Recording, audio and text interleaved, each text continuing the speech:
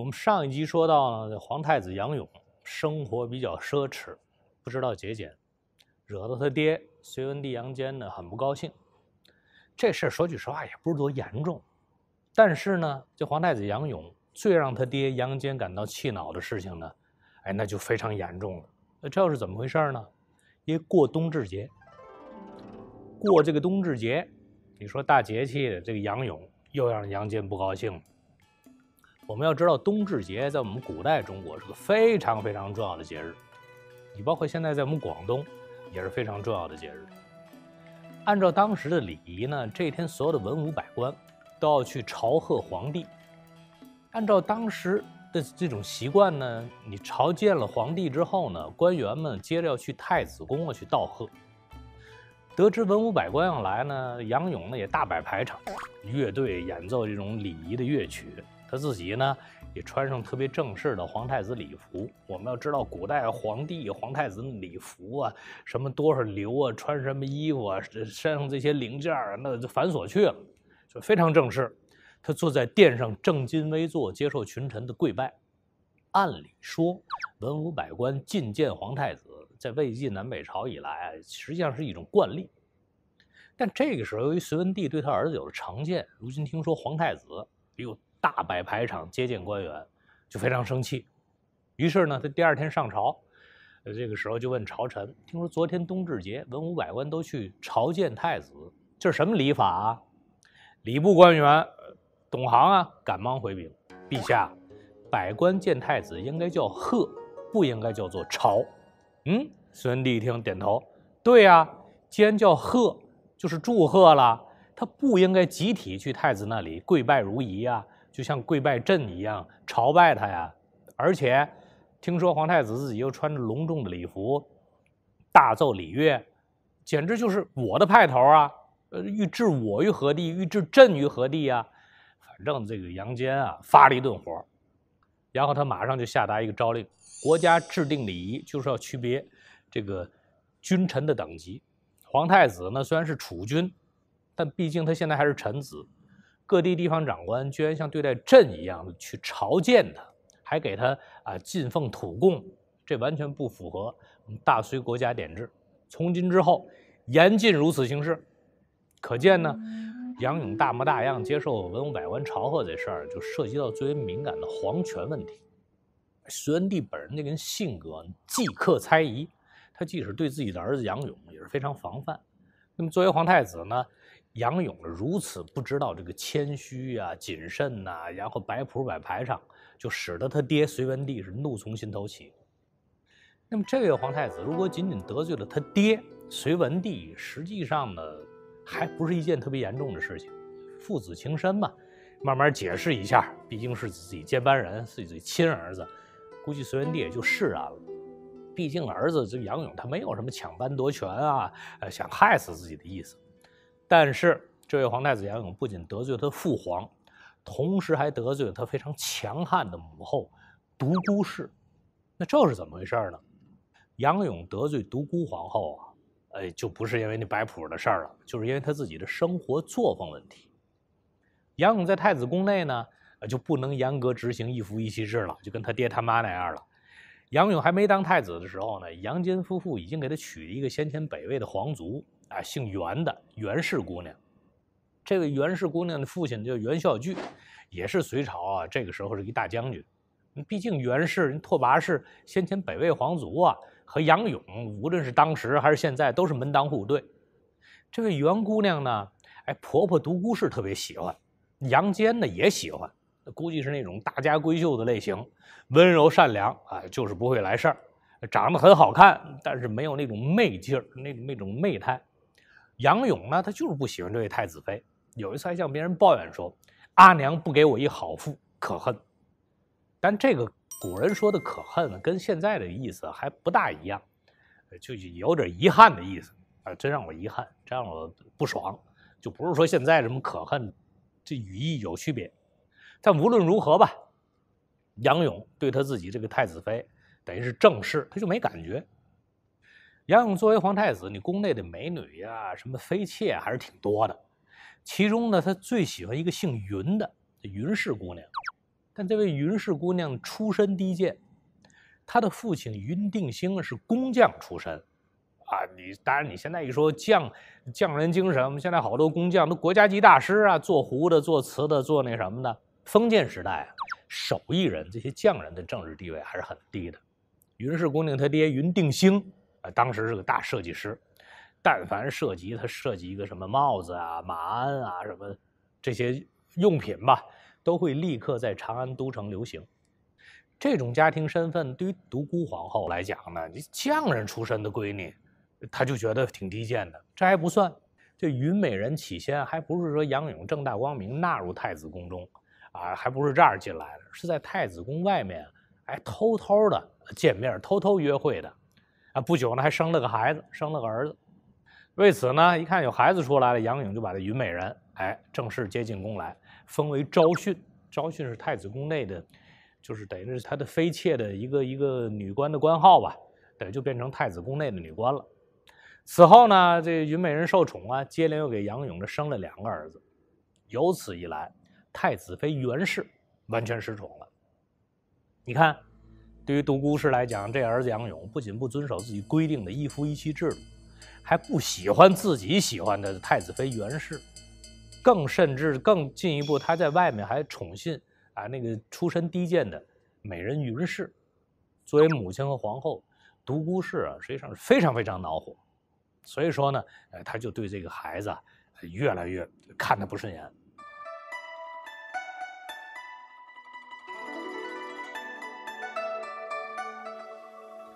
其实皇太子杨勇这种行为在古代一点都不算出格。像他当时作为一个皇太子，纳一些美人为妃妾，多生几个儿子，实际上也是为大隋国家做贡献的，龙子龙孙嘛。但是呢，他这个上面有一个这么嫉妒心极强的母后，这个作风问题，呃，在他母后独孤氏眼里就变成非常非常严重的问题了。更要命的是，独孤氏不是一般的人啊，他对杨坚，他对隋文帝的影响大到惊人的地步。就在先前准备篡权当皇帝犹豫的时候，就那杨坚那阵儿还在这个北周当这个随公呢。作为妻子，独孤氏马上派人传话给他：“大事已然，其寿之事必不得下，免之。”哎，就是老婆独孤氏一句话，最终坚定了杨坚做大事、哎改朝换代的决心。所以说呢，即使后来当了皇帝，杨坚对独孤氏也是言听计从。虽然在后宫内啊，你看他设置了一些什么巧立名目，也有一些嫔妃的名目啊，什么各种女官的那个名目，但那些美人的名目啊，那些妃妾啊，那些什么嫔妃，全都是摆设，宫内都是等于是在执勤的女官而已啊。这个对于隋文帝老来讲，那只能看看叫一叫，你真正的绝对挨不得身儿，他不敢。真正天天跟他在一块儿的，哎，就说。白天晚上吧，包括上朝时候和独孤皇后在一块儿，晚上更不用提了，就只有这位独孤皇后。根据《隋书·杨勇传》记载，说杨勇这个人呢，率意任情，无骄饰之行。这个评价特别中肯，就说杨勇这个人比较率性，平常没有什么骄游造作这种伪装。那么这种我行我素的性格呢，可以用一个心理学词语来表示，就叫长子性格。我们但凡知道这个弗洛伊德心理学的，呃，都知道这种性格的形成呢，呃，他是就是因为他是身为长子嘛，就没有竞争力。有时候呢，这种性格表现在女性身上，咱们翻译过来呢，也称大老婆性格，呃，就是正妻性格吧。因为古代是一妻多妾的，所以说他就就因为他一直没有竞争，所以说这个就相对来讲比较性格宽厚。那么杨勇这样的性格呢，你放在一般的贵族人家或老百姓人家也没什么，但是他的父亲隋文帝、母亲皇后独孤氏，就根本容不得杨勇这样的性格。隋文帝夫妇呢非常苛细，他们对自己严格，对别人更严格，特别是独孤氏，恨铁不成钢啊，那种感觉特强烈。你说这么一个儿子杨勇，竟敢冷落我自己给你找的原配袁氏。你宠信一个从外面弄进来的啊，不三不四的啊，这个这个出身低贱的这个云姓的云氏姑娘，所以说独孤氏啊，慢慢的对孩子这种情感就变成恨意了。那么作为皇太子呢，父皇在，母后在，竟然都对自己有意见，显然他的地位，杨勇的地位就岌岌可危。同时呢，他的弟弟晋王杨广对这一切看在眼里，记在心头，就慢慢就有取而代之的这个意思。我们先前也提到过，晋王杨广他不仅是个美男子，而且两征江南，北破突厥，在隋文帝五个这个王子当中，五个儿子当中啊，是功业最为显赫的。不仅如此，在当时啊，杨广的名声在官员和百姓当中，绝对都是一个完人的形象。我们举个例子啊，有一次杨广带领手下士兵去打猎，走到半路上，忽然天降大雨，左右侍从赶忙给杨广拿来雨衣、雨具，岂料人杨广马上拒绝，这风行潇洒的男子骑在马上，公开大声说：“这些将士们都在淋雨，我怎么能独自一人穿着雨衣呢？”可以想见，当时在场那些将士们会有多么的感动啊。这位王子那绝对是天人、圣人、完人，而且呢，很快这些人就把这个晋王杨广仁义的举动这个事迹传扬出去。由此可见呢，晋王杨广呢确实是一个政治素质相当高的人。当然，你从另一方面也可以说，哎，这人挺会装。但是人他当时作为一个王子，作为一个这个晋王，他的这个所作所为还是相当到位的。即便如此，在封建时代，说句实话，嫡长子制度是一般来讲是不能撼动的。大哥杨勇在你占着皇太子的位置，杨广功劳再大，人品再好，他就是和这个储君皇太子之位是没有缘分的。因为古代就是立嫡啊，就一定要嫡长子啊才能作为这个皇太子的继承人，没有嫡长子就立长，谁年纪大，从来不是说谁聪明，呃谁，呃谁能当储君，那根本就不是。但如今呢，杨勇得罪他爹了，又得罪他妈了，呃，对对，这个这个二老吧，对这个大哥有极大的意见，所以说杨广这阵觉得，哎，自己有机会了。杨广呢，又是一个冰雪聪明这样一个人，和大哥杨勇相比呢，哎，他就反其道而行之。杨勇奢侈吗？我朴素。杨勇你好美色吗？我就保持一夫一妻的啊这样的一个特点。杨勇你妄自尊大吗？哎，我严格的自我意志。所以说，没有对比就没有伤害。哪个孩子都会对别人家的孩子感到压力，更何况竞争对手呃就在眼皮子底下。为此呢，杨广他又把自己王府里晋王府里所有的什么帷幕啊、装饰啊，都换成素绢或者素色布制作的东西，没有花纹、没有图案、没有色彩，看上去就和兵营差不多。所以说，这个就学他爹。至于郡王宫内，就晋王宫内，他有好多乐器啊，毕竟是个王府嘛。也故意啊，没事就放在外头，灰尘满满，让人一看就知道这些东西从来没有用过。所以有一次，隋文帝到自己的二儿子晋王府当中啊，也去看看，呃，这没事也去看看儿子这个王府到底怎么回事贺一瞧，自己在二儿子晋王杨广府里的乐器落满了灰尘，马上内心欢喜。哎，这孩子杨广这个，你看他从来不喜欢那些器乐啊、享受啊，绝对是个正经人。同时呢，他还把自己晋王王府所有年轻漂亮的这个侍女都放到后院深处，就是杨广啊，从来不在父皇啊母后宫内的人或者别的官员，从来不让那些人见到。而在客厅，他接待来人的那些女人啊，就得有人伺候啊。你毕竟是王爷，他不可能自己斟茶倒水啊，非老记仇。所以说，任何到过晋王府的人，由此就知道晋王这个年轻人，你看这么年轻，小伙子又帅又漂亮，品德高尚，根本就不好色。同时呢，在自己母后眼里，杨广结发之妻啊，萧氏这夫妇俩夫唱妇随，恩爱无比，这倒真不是假装。他们两个的感情确实不是一般的好，而且那个萧氏还是南朝的时候那南朝被灭灭掉了萧梁的皇室后裔，出身高贵。但是呢，毕竟那萧氏经历过国破家亡，他就深知人间冷暖，所以这个女人啊她从女孩开始就特别善解人意。政治敏感度啊，什么都特强，所以说呢，她和她的夫君杨广一样啊，都知道哄啊公公婆婆开心。所以说，独孤氏看见二儿子和他二儿媳就眉开眼笑。此外呢，杨广这个人又绝对的自我谦抑，特别低调。只要是父皇母后派工人或者患者到自己王府来办事儿啊，送东西啊，或者是来交代自己什么事儿，不管对方身份高低，不管对方年龄大小，都会盛大其事，隆重接待。所以说，杨广啊和萧氏每次一听说父父皇母后派人来了，都在门口恭迎来人，好吃好喝好待遇。而且呢，特别他是对独孤氏他母后身边的人，那绝对是那个萧氏啊，就是晋王王妃萧氏同吃同住临走时一定准备一份厚礼。我们想一想，这样的王爷夫妇这么年轻，哪里去找呢？那些人回到宫内，无论是患者还是宫女，还是什么女官，都会说晋王夫妇的好话。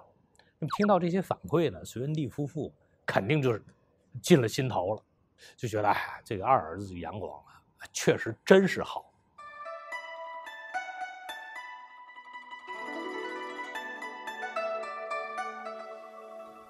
恰恰在此时呢，这皇太子杨勇那边屋漏偏遭连夜雨，使得他本人和父母之间的矛盾呢又忽然升级了。那怎么回事呢？就开皇十一年正月二十一号，杨勇的正妻就是太子妃袁氏忽然暴死。那怎么死的呢？史书记载是心疾，其实现在来讲就是突发心脏病，绝对是属于正常死亡。但是元妃在杨勇那里就一直失宠。云美人呢，那简直是好得宠的热火烹油，所以说这独孤氏啊，就这皇后就认定先前自己给太子儿子找这个袁氏姑娘是被杨勇和那云美人合谋弄死、毒死的，或者是怎么弄死的吧，非正常死亡。独孤氏这样想呢，她肯定就和自己老公隋文帝说啊，你想这老两口天天在一块儿，他不是说白天连晚上什么什么时候都在一块儿，所以一嘀咕这事情呢。这二老对杨勇这个皇太子的意见就更大。与此同时呢，晋王杨广，哎，隋文帝夫妇的二儿子，他在老夫妇心目当中地位逐渐上升。你看，大哥杨勇不是老惹母后生气吗？呵，杨广想了，我要想方设法和母后套亲情、讲感情。我们要知道，晋王杨广他作为一个王爷，他不是说一直待在长安京城的。尤其隋朝平定江南之后啊，杨广是替他父皇啊，呃，守这个江南的。就是委任，当时委任他为扬州总管，去到江南任职。江南一大片地方都归他管。而就在太子妃袁氏去世这当口呢，杨广呢正在京城长安省亲，因为他外地的藩王，他也一年或者是几年有一定的时间回到，呃京城来去朝见拜见自己的父母，这个皇帝和皇后的。当然，这个假期呢是有时间限制的。所以说时间一到，他得重返扬州。当然他在京城有王府，但他主要的这个，这个治理的这个地方是在扬州。重返扬州之前呢，他又到宫里拜见母后独孤皇后，辞行啊。见到母亲的杨广的小伙子，哎，跪倒在地，研发了一下，哽咽，就说：“哎，母后，你看我假期结束，该回扬州了。想到有好长时间，儿臣看不到您慈祥的面容。”哎，不能那侍奉在您的旗下伺候您，儿臣心里真难受。而且呢，我还真不知道什么时候再能见到您。独孤皇后听二儿子杨广如此说，你潸然泪下，哎，就说：“汝在方阵，我要年老，今者之别，有妾常离。你看，你到这么老远地方去，我如今要老了，今天这个告别啊，和平常的告别还真不大一样，就好像生离死别的意思。其实呢，当时独孤皇后说自己老，当时她也就四十岁。但我们要知道，在古代，对于一个女人来讲，四十岁确实是大。你说现在四十岁的咱们这女同志，那跟一朵花似的，但在古代就不一样。所以说，从心理上啊什么的，感觉自己就是老人了。看到母后这种哀戚的面容，杨广就开始告状：“哎呀，就是母后，如今我这么伤心啊，除了不舍得这个离开您到这么老远地方，还有一原因啊，就不知道我怎么回事，把我太子大哥给得罪了。”听说他就一直对我进来咬牙切齿，很想杀掉我。我真害怕，等我一离开京城，他就到您和父皇面前进谗言啊，说我的不是。我更怕他有可能派人，呃，没准就把我毒杀了。想到这里呢，儿臣更是忧心忡忡，特别害怕我离开您之后啊，哎，我就再没有见到您的机会了。独孤皇后听二儿子杨广这么一告状，怒从心起，心头怒火火山一样爆发。马上就厉声大气就说：“献帝伐这个孩子，最近是越来越不像话了。献帝伐这几个字，尤其那个献，还挺偏僻，实际上是杨勇的鲜卑语的那种小名儿，就是那献帝伐这孩子，就这小子越来越让人受不了。我本来好好的替他起了袁家的女儿，指望他们能够兴家立国，没想到呢，杨勇对人家这闺女根本就没有夫妻情分。”专门去宠爱那个姓云的狐狸精，你看还跟他生了好几个什么猪狗崽子，我这袁氏儿媳妇本来一点病都没有，忽然暴死，我想肯定是杨勇和那姓云的，就那女的投毒把她害死。事已至此呢，我也没法深究。没想到杨勇如今又想在这里对你干同样的事情。我现在还活着，他尚且这样对你，哪天我不在了，还不知道他怎么残害哎你们兄弟几个了。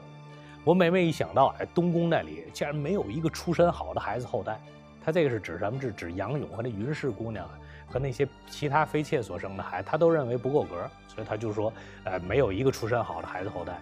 等你父皇至尊。啊，这个这个千秋万岁之后，所谓千秋万岁之后，就说等，现在你爹也崩了，也死了，哎，我也死了，就从那之后，他当了皇帝，你们这几个兄弟不得不向云氏所生的那个崽子们跪拜称臣，我心里啊，真不知道有多痛苦。我刚才讲的呢，是等于是从古汉语翻译过来，你要是看那个古汉语呢，就更好玩。当然，这个当然就这个认知度不一样，所以说我就讲一讲当时读故事所讲那番话，就是正正史当中翻译过来，就是刚才说的这段话。说着话呢，这个独孤皇后和二儿子杨广就抱头痛哭。这个时候呢，杨广是面上有泪，心中笑开花。他深知大哥太子杨勇的地位肯定是不稳了。你看自己母后如此明白无误的向自己表示对大哥的憎恨，那对自己太有利了。当然，母后这边支持自己还不行，还需要朝廷大臣中的重量级人物也支持。因为为什么呢？换义太子的事情不是帝王家里的私事，那是整个国家的大事。而当时呢，隋文帝朝廷当中重量级大臣有几个呢？我们要知道，在杨坚刚刚建立隋朝的时候，呃，就所谓的四贵了：呃高炯、苏威、于庆泽，还有杨坚的族侄杨雄。那么开皇十年平定江南之后呢，由于功勋卓著。杨素地位迅速上升，苏威、于庆泽两个文臣影响力下降。杨雄呢，虽然是他是宗室，是那个杨坚的堂侄，但逐渐就受到杨坚的猜忌了，基本上就不给他实际的这个军权了。我们有人可能会问：这杨坚、这个杨雄，这叔侄关系啊，一笔写不出两个杨字，还会猜忌？不仅杨坚猜忌杨雄，日后隋炀帝登基之后，更是对杨雄猜忌。我们也想。可以想想当初这个北周时代，宇文护在宇文泰他叔叔死之后，把自己两个堂弟弄上帝位，稍有不和都立马弄死了。所以呢，天家无骨肉，这个杨雄呢，就是他那个杨家的这个侄子也慢慢出列。所以在当时在隋朝的这个大臣方面，两个人地位最高，谁呢？一个是高炯，一个就是杨素。那么对于杨广来说，这个高炯和杨素谁会支持他呢？我们刚才讲了。就是杨勇啊，和杨广这些事儿，尤其杨勇，我们也知道，在古代众人艳羡的太子之位不是多好当的。杨勇呢，他当时呢，等于是父母越来对他越来越不待见，自己兄弟要在旁边挑事儿，所以说这些隔阂会越来越深，他的太子之位就不稳了。由此呢，让二弟杨广有可乘之机。所以我们下一集就怎么说呢？就说一说杨广他是如何慢慢争取朝中的大臣。来支持自己上位的。